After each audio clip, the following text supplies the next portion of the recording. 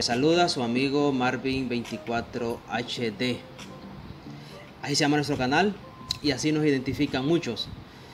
Hoy traemos un tema de mucho que se está hablando en todo el mundo. Y para muchos no es ajeno, para muchos no es desconocido este tema. Y vamos a hablar de lo que es el racismo. Así como usted lo escucha, el racismo. Es un tema que en estos días está de moda. Pero, a decir verdad, siempre ha existido. Ya sea de blancos hacia negros, de negros hacia blancos, chinos, colorados, indios, eh, ¿cuál otro? ¿Cuál otro? existen un, diferentes judíos, etc. Pero siempre ha habido ese odio. Pero lo que más se ha identificado o lo que se sigue identificando a estas alturas en pleno año 2020 cuando atravesábamos la peor crisis mundial que esta generación ha vivido se ha desencadenado una crisis racial en el país que muchos admiramos, quien yo admiro. Miren, siempre ha existido, cierto. Hubo odio por los chinos y provocaron una guerra allá en, países asiáticos. Luego hubo odio hacia los judíos y provocaron asesinatos horribles.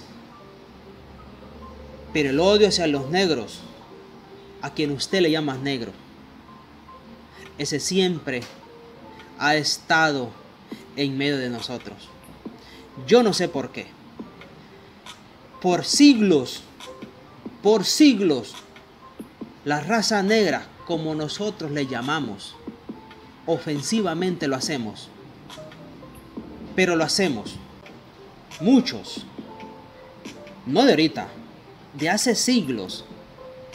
Nacieron siendo esclavos porque así eran conocidos como esclavos, eran comprados como esclavos.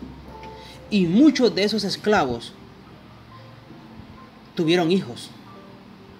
Y estos hijos nacieron esclavos, por Dios santo. Y eso llevó años, años, quitarles ese sello de esclavos.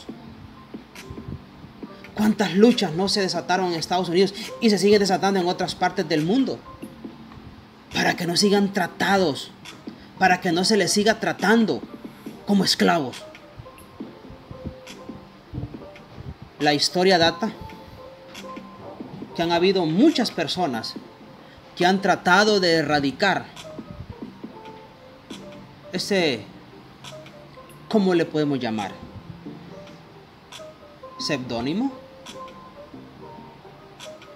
Esa ofensa. ¿Quién la generó? ¿Quién provocó que se les tratara como esclavos? Yo encuentro historia en la historia de Estados Unidos, para ser más preciso, porque es donde ahora a lo que nos vamos a referir, el día de hoy, que hubo un presidente que hizo hasta lo imposible por erradicar la esclavitud hacia los negros en su país terminó siendo asesinado.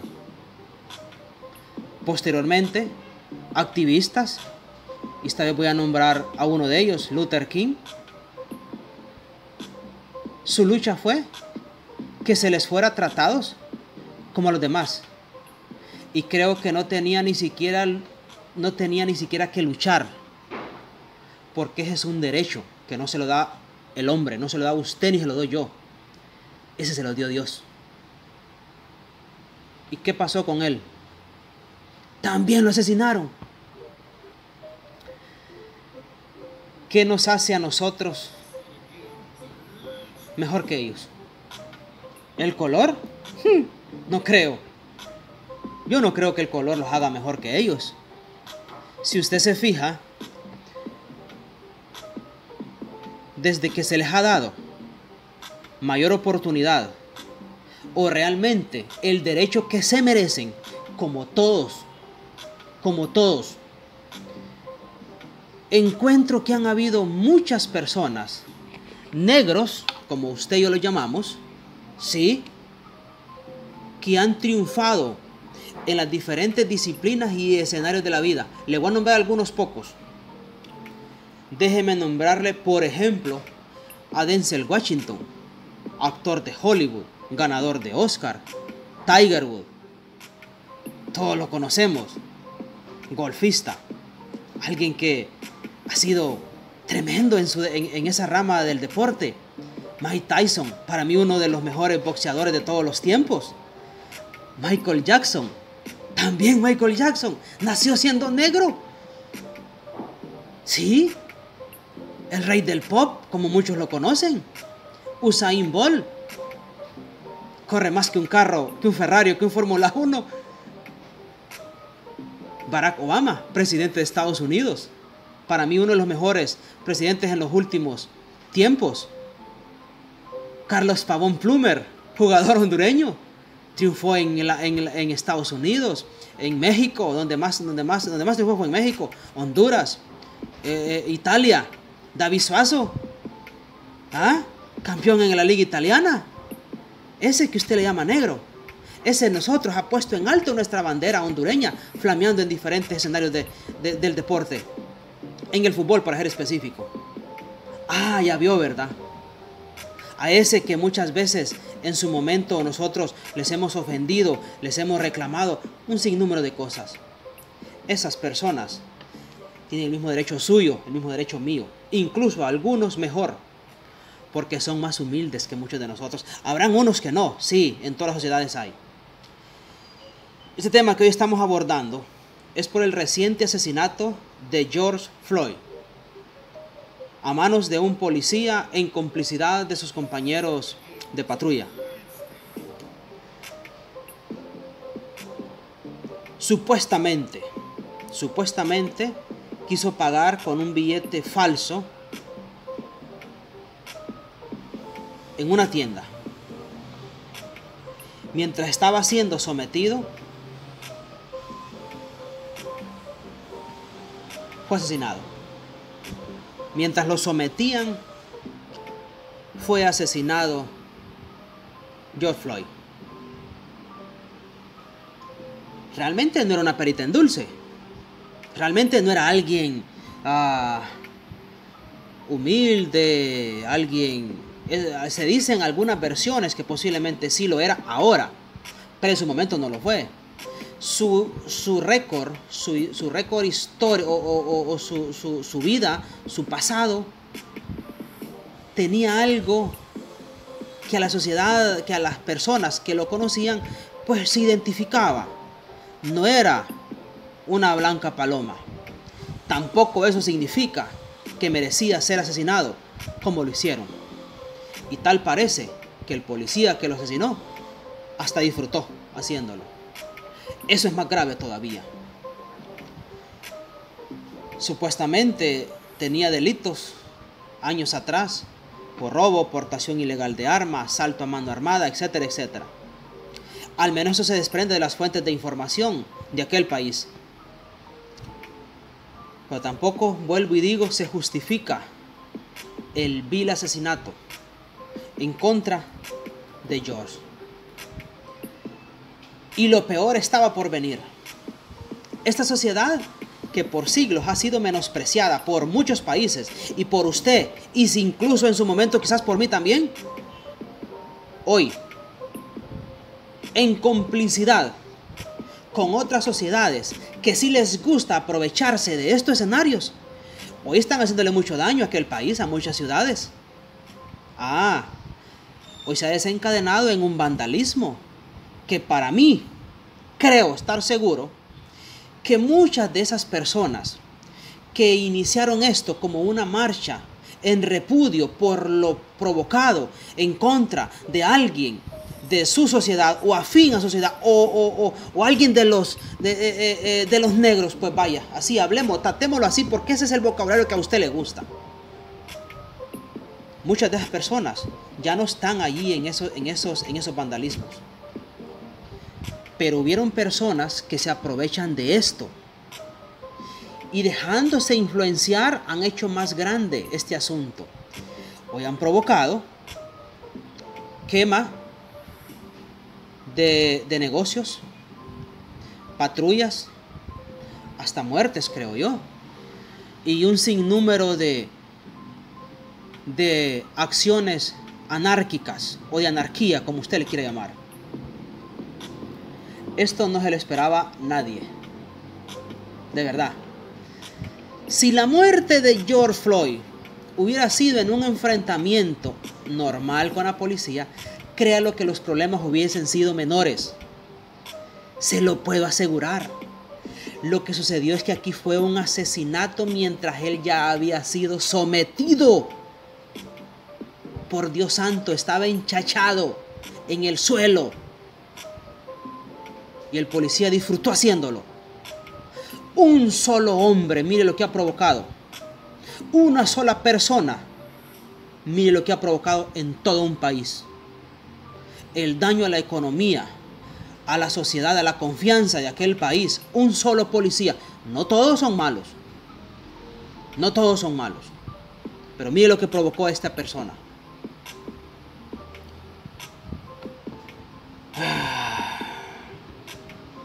Claro, hay personas esperando el más mínimo detalle para aprovecharse de esto.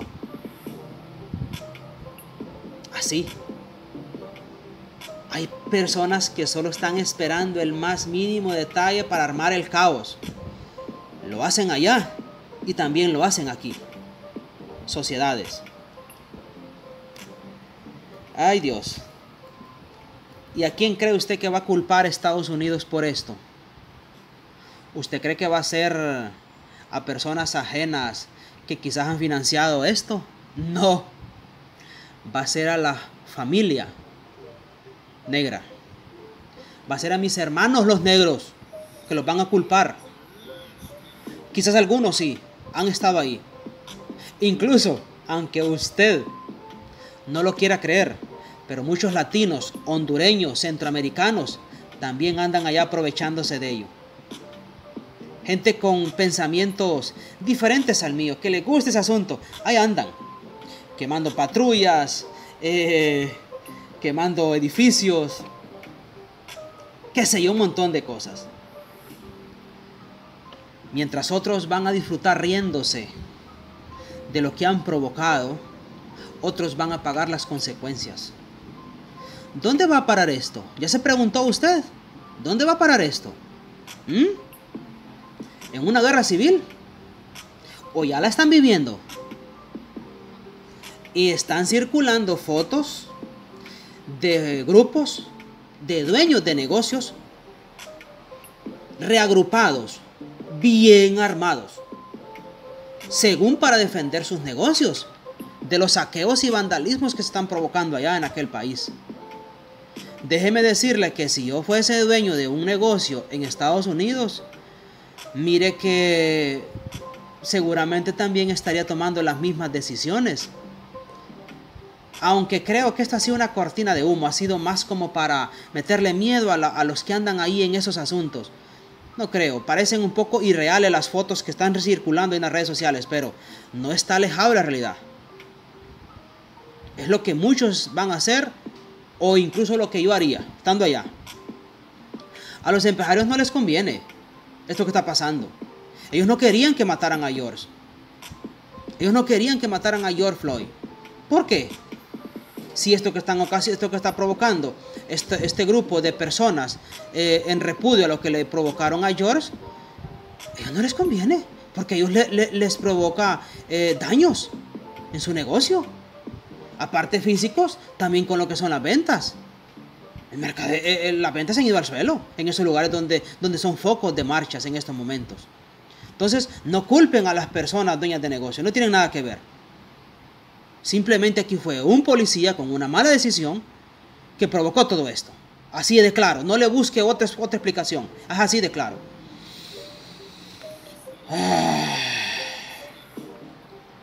Pongamos mucho ojo. Pongamos mucho ojo a esto, hermanos. Ustedes que están allá, autoridades de Estados Unidos, tengan cuidado. Esto podría ser también campañas financiadas por gente con mucho poder. Y es mejor que sea así. ¿Y sabe por qué? Porque pronto esta gente va a dejar de querer invertir en esto. Van a dejar de querer, bueno, ya gastamos si es que es así. Porque también se difunde en el pensamiento de muchos ideólogos políticos de que esto ha sido provocado por personas para provocar el caos al presidente Trump y desestabilizar su, su gobierno. Podría ser. Pero ¿querrán estas personas estar gastando siempre en armar este, estos relajos? Yo creo que no. Más vale que sea así. Porque si esto es provocado, ojo, si esto es provocado en repudio por lo que un policía en un mal día provocó una sociedad, esto no va a parar ahí. Esto va a seguir. Ahorita, después, pero va a seguir. Yo quisiera creer que más bien esto está siendo orquestado por grupos de poder. Yo quiero creer mejor. Porque una sociedad ofendida no va a parar en un día, en una semana o en un mes. Va a llevar siglos de lucha. Siglos de lucha. Y justamente esos siglos de lucha que han, que han tenido en el país norteamericano. Yo tengo unos vecinos que son de la bella ciudad de Tela. Tienen negocios aquí en, en nuestra ciudad. Y no los conozco mucho. Tampoco los visito mucho. Porque ellos pasan trabajando y yo también. Pero sabe que cuando yo los veo yo les llamo amigos, hermanos. Porque esos son para mí. Esos son para mí. Que usted y yo los acostumbramos a decirles negros, sí pero son mis hermanos. Muchos de ellos son los que han puesto en alto el nombre de Honduras. Muchos de ellos. Los pocos blancos que de acá han salido, reconozco muy pocos que han puesto en alto el nombre de Honduras. Muy pocos blancos o de mi color que han puesto en alto el nombre. Son muy pocos. Podría yo eh, buscar, por ejemplo, a una, a una persona que es que recientemente fue nombrada la NASA. Por aquí tengo su nombre, déjeme buscarlo, ya se lo voy a nombrar. Una persona muy reconocida para muchos. Enma Salgado. Enma Salgado es una famosa científica hondureña pero esos casos son muy aislados. Sabe que nosotros somos conocidos en Honduras como un país de corruptos. Y no soy yo, pero son muchos blancos que gobiernan el país. Se da cuenta cómo son las cosas. Miren, exceso de autoridad por parte de la policía en todos los países existe. En todos los países existe aquí en Honduras, aquí en Honduras, cualquier policía le mete un toletazo a usted y a mí sin preguntar. Es más, aquí los matan y más bien los premian. Como cualquier animal matan a la gente aquí los policías. Una mala acción, se acabó. No solo en Estados Unidos, aquí es peor todavía. Es más, allá es a ustedes, familia, familia de negros, Aquí es a cualquiera. Aquí no andan viendo a quién. Al menos allá. ¿Sabe que al menos allá ya le hicieron justicia? Entre comillas, a George. El policía que lo mató ya se supone que está tras las rejas. Aquí andan libres. Se les premia honrándolos en un rango mayor o mejor a los policías. No todos son malos. Aquí hay muchos policías profesionales como también los hay allá. En todas partes los hay. No todos los polis son malos. Miren en Florida. ¿Qué pasó allá? Iba la turba y se humillaron los policías. Hubieron lágrimas, hubo perdón entre todos y se juntaron para marchar juntos. Aquí también han pasado esos escenarios. También ha pasado aquí. Es que de todo encontramos en la sociedad. Miren, de repente usted quiere que yo hable lo que a usted se le antoja. De repente usted quiere que yo utilice las palabras que a usted le gusta. Estoy tratando de, de hablar de una forma que lo entiendan las personas que no fueron a una escuela, que no fueron a un colegio, que tampoco fueron a un kinder. No utilicemos palabras bonitas para ofender. Igual, ofenden. Mejor utilicemos palabras sencillas para hablar, que quizás encontremos un amigo entiende lo que decimos. Ah, ya vio, ¿verdad? Ah, esta tierra es para, para todos, para que vamos todos juntos en armonía. Nadie es más que nadie, todos somos iguales. Que socialmente los identifiquemos porque uno tiene más que otro, sea más bonito, de repente.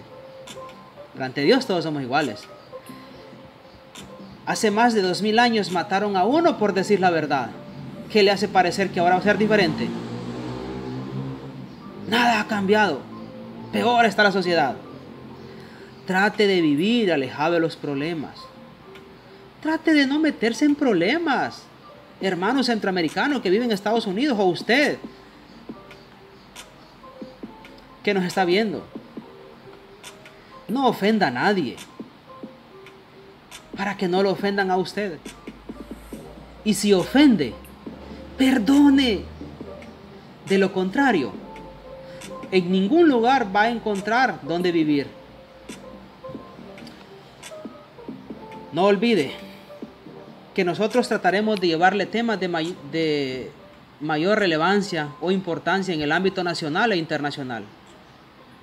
Hoy es un tema muy delicado, muy frágil. De verdad, yo amo a mis hermanos garífunas. Yo los amo mucho. Aquí tenemos un sinnúmero de, de, razas, de, de, personas de diferentes colores. Y como ser humanos tenemos que llevarlos bien. Porque esta tierra es para todos. No se les olvide que no es suya ni mía. Ni somos dueños de ella. Habitamos un lugar que no es nuestro. Es de Dios quien lo creó. Finalmente le pedimos que se suscriba a nuestro canal. Si le gusta escuchar temas de estos o otros de mayor importancia, no olvide suscribirse y dele a la campanita para que esté recibiendo notificaciones. En estos días le vamos a traer, esperamos que se nos confirme, eh, vamos a traer una persona que va a estar con nosotros, esperamos que sí, alguien que le gusta el arte, el arte de pintar, es un artista en pintura. Y queremos llevarle hasta sus hogares para que usted disfrute como otros hacen cosas que de repente usted y yo quisiéramos tener, pero ese no es nuestro don. Esté pendiente, déle la campanita y usted va a recibir notificaciones cuando subamos estos eh, estos, estos videos. Búsquenos en la red. Marvin24 HD. Suscríbase. Gracias por estar en sintonía de nosotros, estar viendo nuestras locuras. Hoy no fue una locura, hoy fue una realidad. Muchas gracias. Hasta pronto.